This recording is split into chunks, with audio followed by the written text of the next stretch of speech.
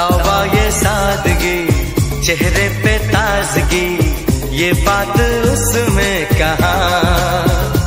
उस चाँद का मुकाबला क्या होगा इस चाँद के आगे?